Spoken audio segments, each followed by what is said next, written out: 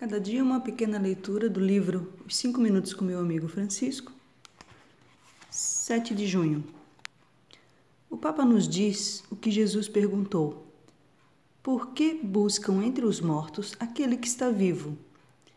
Necessitamos que isso seja aclamado no meio de nosso povo e de nossa cultura, para que abramos nosso coração ao único que dá vida, que não vem de mentiras e que regala apenas verdades. Oração. Fique conosco, Senhor da Esperança. O mundo que você ama hoje luta por viver. Vivemos muitas vezes uma falsa justiça. Não deixe que a noite nos surpreenda sem você.